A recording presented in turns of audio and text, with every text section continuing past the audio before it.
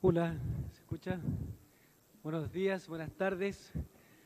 Eh, bueno, dejo a todos emocionados las palabras aquí del, del colega y, jugando un poco con lo que quiero transmitirle desde el laboratorio de innovación social en el cual trabajo, voy a hacer una pregunta, a ver si me ayudan y, y me levantan la mano. ¿Quién de ustedes, incluido acá mis colegas panelistas, ha escuchado la palabra o el concepto de los hackers, del hackeo? Que levante la mano, a ver la mitad, más o menos. ¿Y quién tiene la concepción de que los hackers son eh, de alguna manera negativos? O son, son, levante la mano los que encuentran que los hackers o tienen asociado un tema negativo los hackers. Un poco menos, pero la mayoría.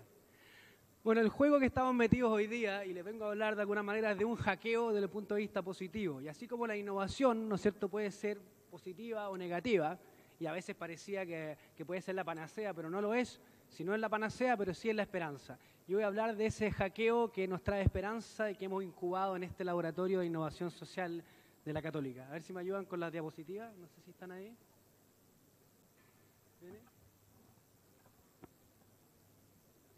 Bueno, vamos a ver si, si aparece el, documento. Pero básicamente eh, contarles de un viaje. En lo personal, y ahí venía un poco la, historia, yo vengo más bien del campo, de la actividad, de la fundación, de la, de la empresa social hacia el mundo de la academia y por eso cuando hoy día a la mañana me definía y, queda un poco medio extraño, me considero como un híbrido de este mundo o como una abeja polinizadora. Todos conceptos que suenan bien extraños, pero lo que buscamos un poco hoy día es aprender de los sistemas y llevar esto ecológico a los sistemas sociales. Hemos vivido un viaje de cuatro años como laboratorio. Hoy día soy profesor de la eh, Escuela de Negocios de la Pontificia Universidad Católica de Chile y desde ahí montamos este laboratorio que cuando partimos, y por qué digo, en el fondo montamos el laboratorio ahora, llevamos un viaje de cuatro años de inmersión en donde hoy día, recién hace eh, unos seis meses, tenemos nuestro logo, sabemos de alguna manera hemos constituido lo que, lo que somos como organización. Es un viaje que fuimos a, escuchar qué es lo que hacía sentido de crear, en el fondo de ir a entender el ecosistema que hace sentido que nosotros, desde la universidad, de, de, entendiendo el rol de la universidad, los valores de la universidad y de todo el equipo que estaba ahí, dijimos, ¿qué podemos contribuir en este marco de la innovación social que nos quisimos meter? Y eso significa eh, una coinversión, o sea, significa cosentir, empezar a trabajar con otros, tanto con colegas, profesores, con alumnos, eh, con el ecosistema afuera, con las empresas, con las fundaciones, con eh, las otras universidades, y en ese proceso nos tomó tiempo. Y todo el mundo decía, bueno, pero ¿qué tienen ustedes? ¿Qué están armando ahí? Nosotros estamos prototipando, acercándonos a posibles soluciones. En el fondo, como hablábamos recién, estábamos aprendiendo, ¿no es en una inversión profunda de conocimiento hasta que llegamos a un momento tal que hoy día reconocemos que en este espacio como de caos y orden algo hace sentido, que hay una propuesta de valor que es la que hablaba de hackeando sistemas. Hoy día creemos que nosotros estamos orientados a construir nuevos modelos y nuevas conversaciones. Nuestra propuesta de innovación social no va tanto en el diseño de un producto o proceso, sino más bien a cómo cambiamos de alguna manera las distintas conversaciones que hay en lo público, en lo privado, en la educación, en algunas eh, cadenas de valor a través de modelos de negocio. Entonces nos hemos dedicado a construir eso. En ese viaje hemos identificado una serie de... Eh, de alguna manera necesidades que hablan de esta como triple división que nos plantea Otto Scharmen. A la división no solo entre la ética y la economía, la economía y el medio ambiente, sino que, que esas pueden ser y son bien dramáticas. Sobre todo, yo hablaba tu, tu presentación, hay un tema que no incorporamos en América Latina en lo más mínimo, el concepto, nosotros construimos nuestros modelos de lo que no hay en vez de asumir los límites que tenemos y construirlo desde lo que hay. Y por otro lado, construimos la economía desde la escasez y la competencia y no desde la economía, desde la abundancia y la colaboración. Entonces lo que estamos tratando de hacer es construir desde una escuela de negocio tradicional, en una universidad larga, institucionalizada y potente como la Universidad Católica en Chile, es construir este nuevo paradigma, este nuevo espacio de conversación. Entonces en ese viaje les decía que la última división que menciona Otto Scharmer, que nosotros nos hace mucho eco, es la división más bien interna, espiritual. Recién hablábamos también con una colega abajo del, del, panel. Es difícil pensar que la innovación social y lo que hacemos desde la universidad es de la puerta para afuera y los programas para con nuestros alumnos si no nos involucramos y no hay alma que conecte realmente con esto.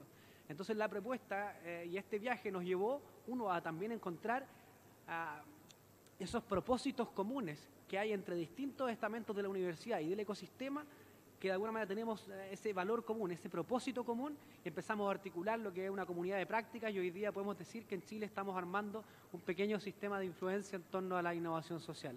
Entonces, ese viaje eh, nos reconoce esta, esta división más bien espiritual o interior que tenemos todos y que se da cuando yo voy al trabajo, tengo una empresa y tengo que tomar una serie de decisiones que van alineados con la última línea en desmedro de temas sociales, medioambientales, a lo que yo pregono o lo que me gustaría que ocurriera en mis relaciones familiares, los amigos. Entonces la invitación que estamos tratando de hacer es superar eso.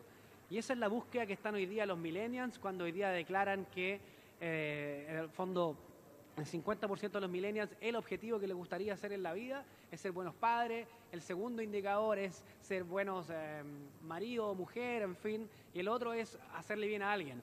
O sea, esa es la búsqueda de los jóvenes que ustedes van a tener que contratar o ustedes mismos en la universidad, que se ve retratado así en Estados Unidos, pero también se ve, ¿no es cierto?, en nuestra universidad en América Latina.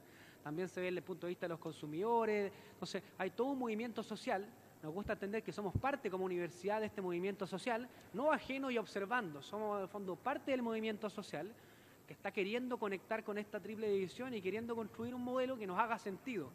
Y eso es como en toda la traducción y los modelos de negocio que tú hablabas del laboratorio, hemos creado una nueva forma, incluso como fondo trabajando en base a los Canvas, el Culture Canvas y todas estas iniciativas para llegar a un nuevo modelo de negocios que lo que pone es el propósito y la intencionalidad en el centro de los negocios. Y eso al final es el resumen de lo que cuando hablamos de negocio inclusivo, share value y todas las distintas conceptualizaciones que hay. Eh, bueno, y después de, seguir articulando esta, esta, propuesta de valor, de ver qué es lo que está ocurriendo afuera, qué hemos aprendido, también se ven nuevos modelos de empresa. O sea, ese joven que se ha identificado con la causa de un propósito particular, que articula un modelo de negocio en torno a eso, se dedica a construir otro tipo de empresas, como las empresas B. Pero no es solo ellos, sino que el movimiento social es mucho más amplio y rescata todas las dinámicas de convergencia y emergencia que hay, en el fondo, hoy día desde el sector privado, desde el sector público, desde el sector cooperativo, es levantar todos los sectores articulando un espacio hoy día como de convergencia en donde es posible hackear. Ese, ese espacio eh, lo hemos acompañado bastante de cerca de trabajando como en el hackeo del sistema de las empresas. Hemos contribuido desde el laboratorio a armar y mapear esta evolución del sistema B en América Latina. Y otros ejemplos de hackeo que tenía preparado en la presentación que todavía no sé por qué no aparece, pero y la organización va a tener que pagar por esto. Bueno, es eh, el tema de, o sea, hay cuatro ejemplos de hackeo que me gustaría como comentarles para, ver si logro, eh, sin eh, apoyo visual, poder compartirle qué se trata. Un, un, hackeo tiene que ver, por ejemplo, con una nueva cadena de valor. Trabajamos con pescadores artesanales de, a lo largo de Chile durante un año, le identificamos todos los gaps con ellos y fuimos trabajando con ellos, luego fuimos buscando alianzas en los orecas, los hoteles, los restaurantes, eh, invitando a construir una nueva manera. Y la idea final es educar al consumidor. Estamos hablando de un proyecto a nivel nacional hoy día que lo que queremos es que lo que haya en los supermercados, en los restaurantes de Chile, sea el pescado que sale en ese minuto cuando corresponde. Armamos un modelo en torno a lo que hay y no forzamos y estiramos los límites a placer de nosotros, sino que nos integramos como parte del ambiente, del ecosistema que vivimos. Eso lo estamos haciendo a nivel nacional. El tema de la educación, tú mencionabas los nuevos espacios de educación nosotros nos pusimos a estudiar cuáles eran los espacios donde había que realmente, como decíamos nosotros, hackear ese, espacio y construimos una escuela de innovación social. Esa escuela que partió afuera, la prototipamos no curricular, o sea, la universidad involucrada y es más, hicimos algo, fuimos a capacitar a nuestra competencia. En la Católica fuimos y trabajamos con otras tres universidades para capacitar a los profesores de la universidad para que dicten el curso, ojalá mejor que nosotros, en el fondo, y eso hoy día se integró al currículum de esas universidades. Es un curso con sigla compartida, en alianza entre universidades que eran rivales en, una ciudad en el norte de Chile, y hoy día está corriendo eso y queriendo escalar a distintas ciudades de Chile, también nos han llamado otras ciudades de América Latina, replicar un poco lo que es esa escuela de cambio. Y si ya me están cortando, así que bueno, eso, eso es lo que hacemos en el laboratorio. Gracias.